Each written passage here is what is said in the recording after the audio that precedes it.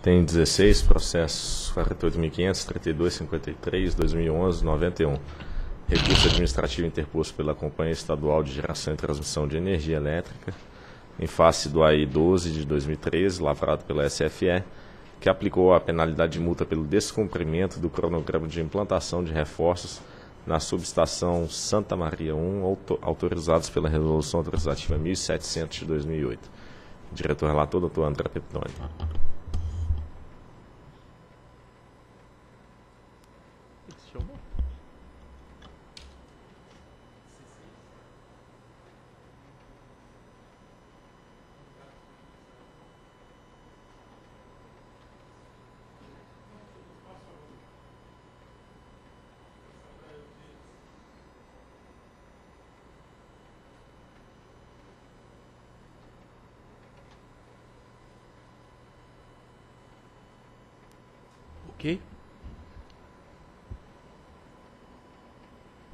Estão todos com o arquivo? Está no pauta dia. Começar a ler esse projeto. Mediante o, o, o auto de fração número 12, lavado em 31 de janeiro de 2013, a SFE aplicou à Companhia Estadual de Geração e Transmissão de Energia Elétrica, CEGT, multa de R$ 20.615. A penalidade foi aplicada pelo descumprimento aos marcos intermediários do cronograma de implantação dos reforços da subestação Santa Maria 1, autorizados por meio da resolução autorizativa número 1700 de 2008. Inconformada, a CEGT protocolou recurso administrativo contra o auto infração, o qual foi mantido pela fiscalização e juiz de reconsideração. E em 29 de abril de 2013 foi sorteado como relator do processo ao relatório. Procuradoria. Aqui trata-se de multa aplicada à CEGT por atraso na entrada de operação de um reforço na subestação Santa Maria 1. A CE alega no seu recurso dificuldades técnicas e operacionais, mas a análise da, da SFE é de que essas, essas dificuldades não justificam a, o atraso, de forma que está caracterizado a, a, a não conformidade. A Procuradoria opina então pelo conhecimento e desprovimento do recurso. Senhores diretores, o recurso é tempestivo, daí merecer conhecimento, passo a análise do mérito. A tabela 1 ela apresenta os marcos estipulados pela Resolução Autorizativa 1700-2008 para a implantação de reforços na subestação Santa Maria 1, bem como os atrasos verificados. Então nós temos o, os marcos intermediários, a data limite e na última coluna o atraso em dias primeiro caso da elaboração dos estudos e projetos, um atraso de 1.057 dias. E na sequência, identificamos diversos atrasos na ordem de 560 dias para mais. A recorrente não negou a infração, todavia informou que comunicara a ANEL, em 30 de abril de 2009, por meio de correspondência, que recebera da AS Sul Distribuidora Gaúcha correspondência informando que a instalação de reforço na subestação Santa Maria poderia ser postergada para 2013 Informou ainda que solicitara a retificação da Resolução 1700-2008 de forma a compatibilizá-la com a real necessidade da distribuidora, no caso a AS Sul.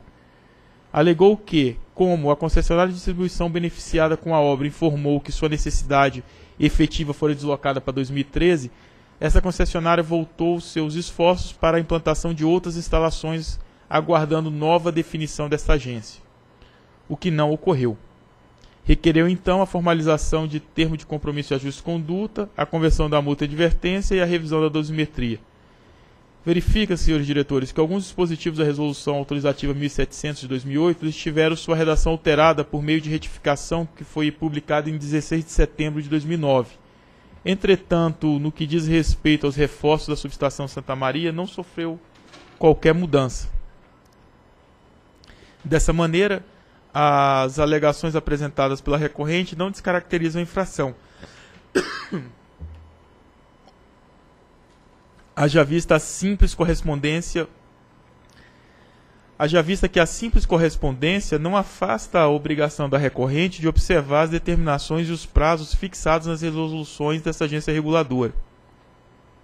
Acresce-se que, conforme informado na exposição de motivos do auto infração, a SRT, por meio do ofício 109 de 2011, informou a recorrente que eventuais justificativas para o atraso nas obras deveriam ser apresentados no âmbito do processo de fiscalização do andamento das obras. Não acatou, portanto, o pedido de postergação do reforço da subestação Santa Maria 1 para 2013. Assim comprovada a ocorrência da infração, a aplicação da penalidade ela torna-se obrigatória para a administração por força do princípio da indisponibilidade do interesse público. A propósito, a dosimetria adotada na fixação da multa verifica-se que o valor correspondente a 0,002% do faturamento anual da recorrente, percentual muito aquém do máximo do grupo, grupo 3, que é de 1%.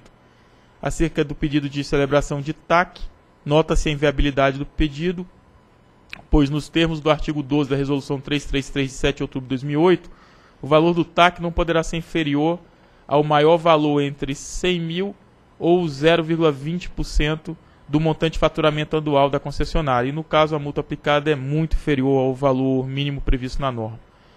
Quanto ao pedido de conversão da multa em advertência, observa-se que, segundo o exposto pela SFE, na exposição de motivos ao auto de infração, bem como em juízo de reconsideração, a infração em tela não pode ser considerada como de pequeno potencial ofensivo, esse que poderia implicar consequências indesejáveis para o, para o próprio sistema interligado nacional. Por fim, não merece prosperar o pedido de revisão da dosimetria. Essa diretoria colegiada consolidou o entendimento de que não há óbice a adoção do faturamento total da concessionária como base de cálculo da penalidade, desde que, na hipótese de previsão contratual expressa, a multa por infração cometida respeite o limite de 2% do valor da receita anual permitida da transmissora. No caso, a RAP total da recorrente entre dezembro de 2011 e novembro de 2012 foi de 551 milhões, o que implica o limite de 11 milhões e 24 mil, podendo assim concluir que a multa aplicada não ultrapassou tal limite. Dessa maneira, ao contrário do alegado pela recorrente, a dosimetria utilizada pela área técnica foi isonômica, proporcional e razoável, não havendo razão que indique a necessidade de sua reforma. Com apoio nessa fundamentação e no que consta no processo 48.500.00.3253-2011, 91, voto por conhecer do recurso administrativo interposto pela CEGT e no mérito negar-lhe provimento para manter na íntegra a multa de R$ 20.615, valor a ser recolhido conforme legislação vigente, e multa imposta pelo auto de infração número 12 pelo descumprimento do cronograma de implantação dos reforços na subestação Santa Maria 1. É o voto. Em discussão, em votação. Voto com o relator.